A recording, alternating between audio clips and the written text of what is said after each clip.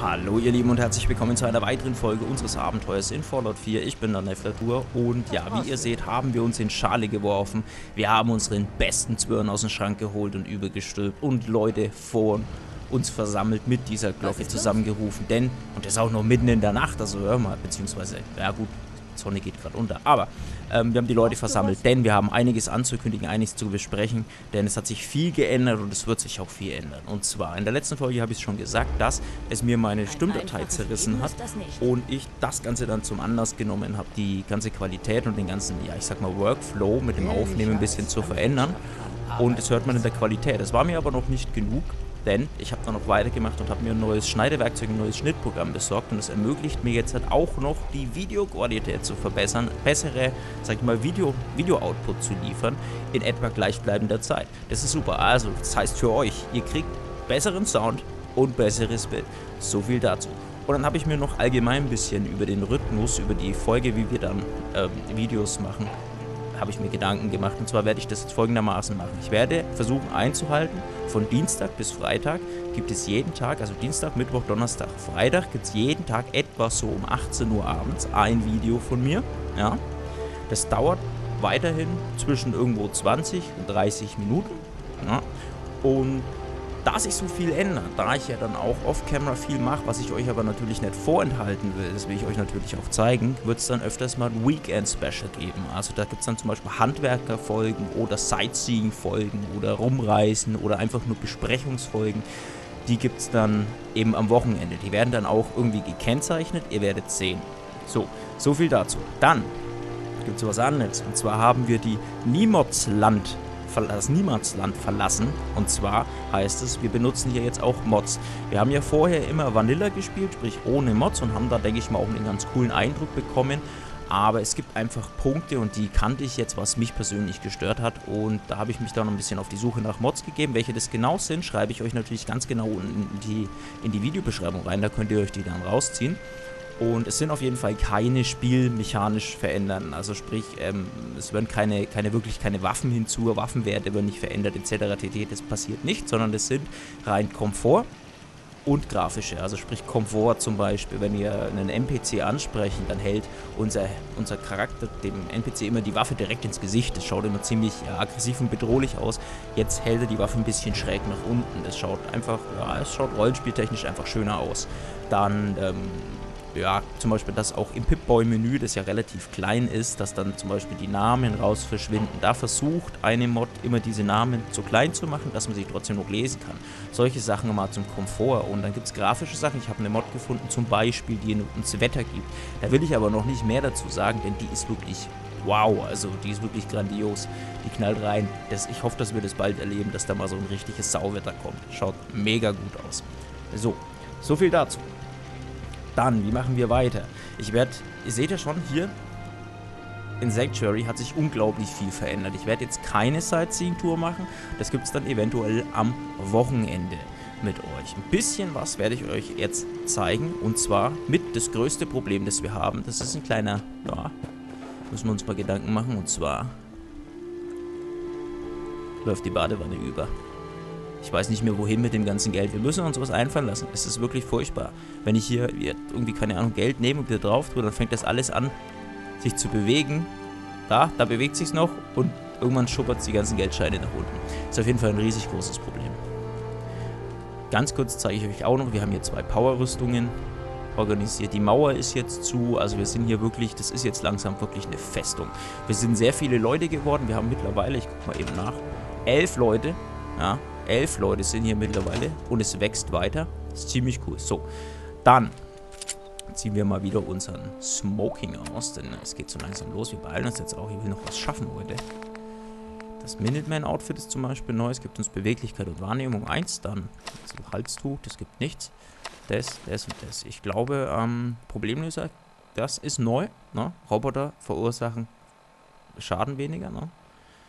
Und ähm, ich glaube auch, dass die Lederrüstung neu ist. So. Aussehen tut das Ganze wie folgt. Mal ein bisschen ins Licht gehen. Und ich finde, das schaut schon richtig cool aus, oder? Aber ein bisschen Stil weg von diesem, von diesem äh, Diamond City Wachen-Outfit. Genau.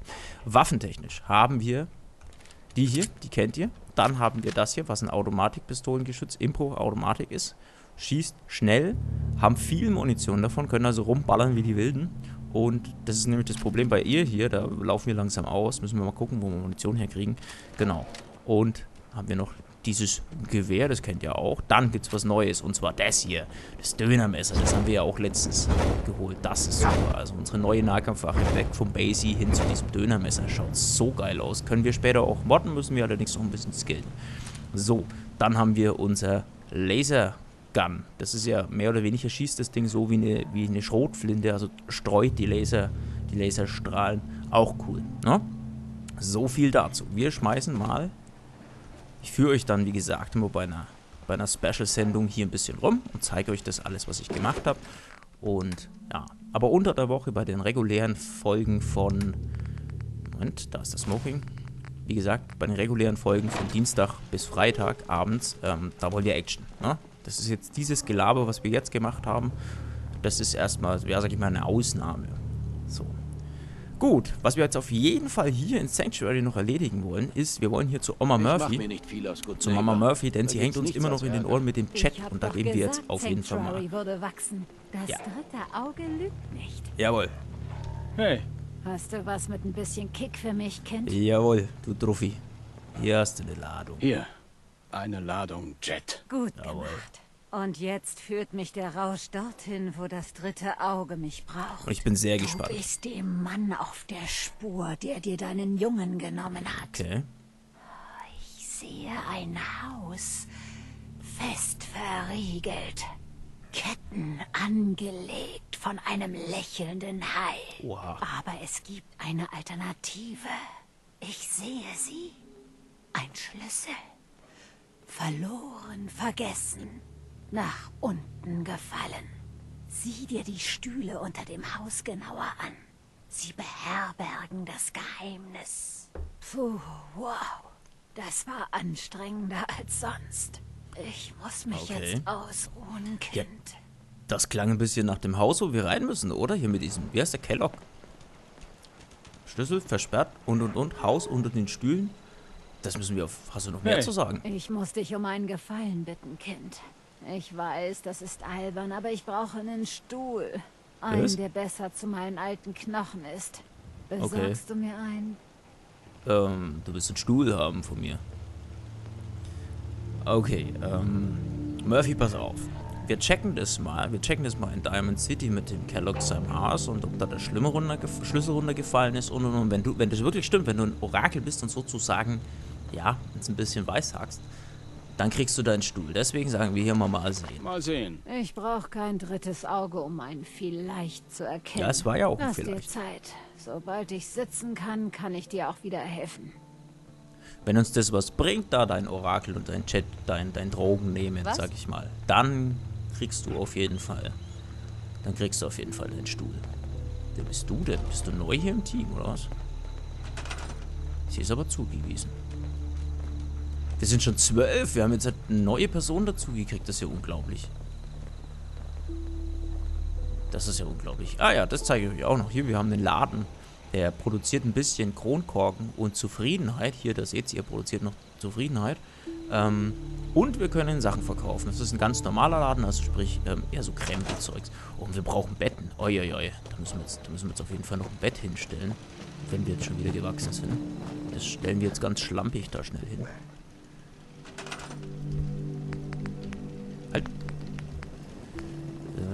Sind Betten. Ein gutes Bett. So, da stellen wir uns ganz schlampig. Ah, ähm, bauen wir vielleicht gleich zwei hin. Genau, so. Moral sinkt. Warum sinkt die Moral? Vielleicht ich freue mich schon auf den Stuhl. Ja. Es ist so nett von dir, dass du mir hilfst. Ja, kein Thema. Wie gesagt, wenn es was bringt, dann äh, machen wir das. Viele da schaut euch mir Sturges an. Voll der Panzer. Ich baue sie gerne wieder zusammen. Das ist cool. So, jetzt wollen wir aber was erleben. Und zwar, ach ja, was ich euch auch noch sagen kann, ist, ähm, es gibt was Neues. Und zwar habe ich was skillen können, was uns Versorgungslinien, Versorgungsrouten einrichten lässt. Und zwar ist es so, dass wir ähm, ja immer alles nach Sanctuary bringen, die ganzen Rohstoffe etc., alles hierhin. Und dadurch haben die anderen Siedlungen keine, keine Rohstoffe, mit denen wir bauen können. Versorgungslinien ähm, lösen das Problem. Und zwar brauchen die einen Siedler und man kann sie dann von Siedlung zu Siedlung einrichten. Und dann können wir in der anderen verbundenen Siedlung genauso auf die Rohstoffe zugreifen. Und das wird, also ich baue dann so ein Netz auf, sage ich mal so in meinem Kopf, steht es schon, hier wird es dann gerade umgesetzt, von Sanctuary nach Abernathy Farm, die übrigens auch neu ist, aber das ähm, erkläre ich euch irgendwann später. Genau. Und von der hier runter zum Starlight Drive-In. Und von Starlight Drive-In, da haben wir sehr viel Platz zum Bauen und können sehr viele Siedler holen. Da bauen wir so ein Handelszentrum ein bisschen auf, zusammen mit Sanctuary. Und da wird dann praktisch auch ein bisschen so, ja, so ein Verteiler, so eine Verteiler-Area gebaut. Von da gehen dann mehrere Routen ab. Und zwar hoch zum Ten Pines Bluff und dann irgendwann hier rüber vielleicht noch zur Kindergrippe. Und nach unten zum Grey Garden. Aber dann auch nicht mehr weiter. Grey Garden wird dann weiter liefern nach Oberlandstation und so geht es immer weiter. Also so wird dann das Netz ausgebaut und irgendwann können wir dann wirklich in jeder Siedlung einfach so bauen. So, das muss jetzt aber auch ähm, reichen. So. Und zwar habe ich hier einen Steinbruch gefunden und da werden wir jetzt auf jeden Fall mal hinreisen und noch ein bisschen was erledigen. Mal gucken, wie viel wir noch schaffen. Ich hoffe, wir schaffen den ganzen Steinbruch in dieser Folge noch. Das wäre toll. So, da wären wir. Der Steinbruch da war ein Typ, bin, bin ich hier vorbeigekommen, da vorne sitzt er, der hat uns gebeten, weil der Steinbruch ist mit Wasser vollgelaufen. Und das, was er gerade repariert, ist eine riesige Wasserpumpe. Und es gibt hier so, ja, so Blutblasen steigen hier auf, die sagen uns an, dass da Ventile sind und die sind zu. Und die machen wir jetzt auf jeden Fall auf, ganz hart. In dem Terminal, in so einem Wagen, stand drinnen, dass komische Geräusche aus den ganzen Rohrsystemen und sowas kommen. Also sprich, habe ich auch ein bisschen Nervenkitzel. Na? Aber wir springen jetzt einfach wagemutig darunter. Hui! Und machen das direkt mal auf.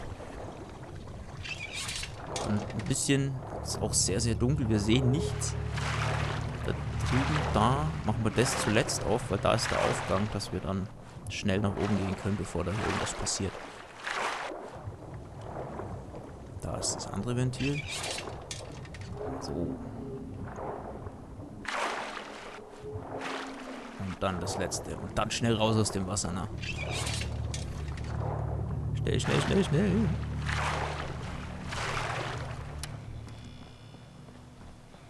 Okay. Ist aber alles ruhig hier.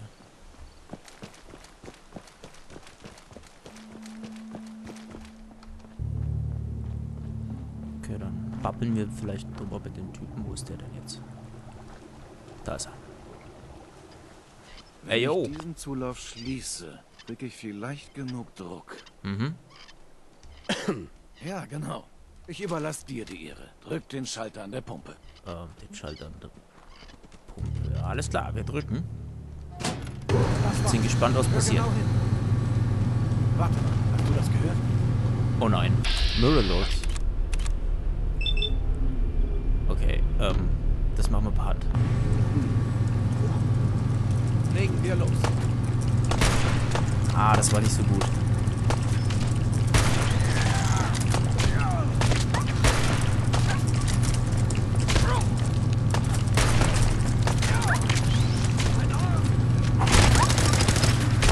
Seht ihr auch mal, wie die Waffe hier schießt. Geht ganz gut, ne?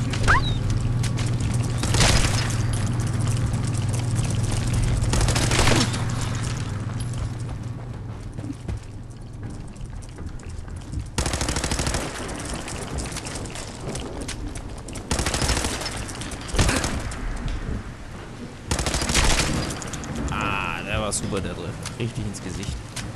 Kommt da noch was?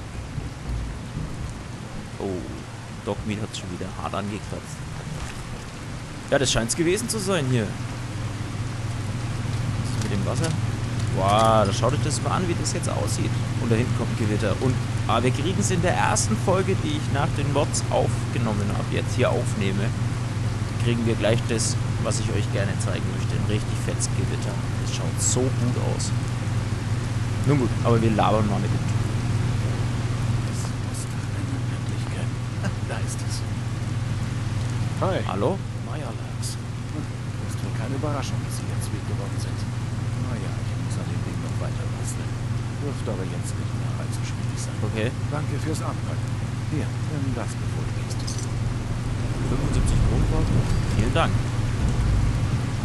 Da schau dich das mal an. Wow. Wenn es direkt über uns ist, schaut es so sagenhaft gut aus. Aber das ist wohl gerade über Diamond City. Ja, ein bisschen hier, hier drüben. So, was machen wir jetzt? Ja, ich würde jetzt gerne mal nach Diamond City gehen und mit dem Schlüssel gucken. Wir machen mal eine Schnellreise. So viel, wie wir in diesem Video noch schaffen. 15 Minuten haben wir schon, etwa. Da geht schon noch was. Schaffen wir noch was. Und dann will ich auch mal hier mit dem Doc, das, was da in seinem Chirurgenkeller abgeht, das möchte ich auch wissen. So, da ist Kelloggs Haus. Ist das da, glaube ich, ist es. Und dann muss es ja direkt unten drunter sein, rein theoretisch. Da sind die Stühle. Ach, und wir können sie gleich suchen. Unglaublich.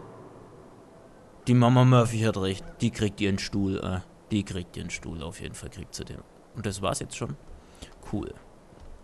Ähm, ja, bevor wir da jetzt aber reingehen, und weil es startet ja dann wieder weiter, die Main Quest, möchte ich jetzt auf jeden Fall mal hier gucken. Wir waren ja auch noch überhaupt nicht in der Bar oder sowas, ne?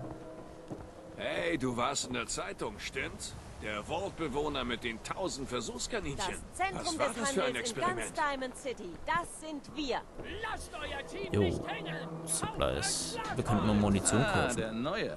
Stimmt doch, oder? Ja, nicht mehr ganz so neu. Aber was meint er denn Der damit? Neue?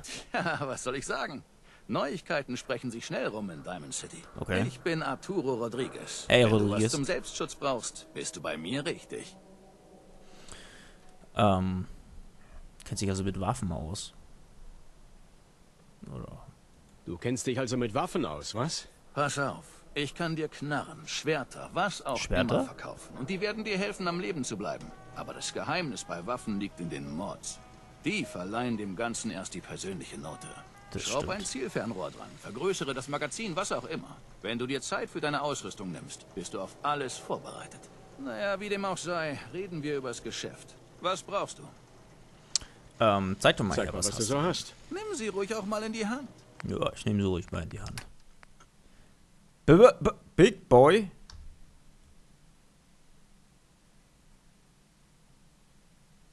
Hm. Jawohl. Was ist das? Old Faithful? Verursacht doppelten Schaden, wenn das Ziel dopp äh, volle Gesundheit hat. Auch nicht schlecht, auch nicht schlecht, das Ding. Was hat er denn sonst noch? Allmächt. Wahnsinn. Mit Düsenantrieb oder was? Irgendwann.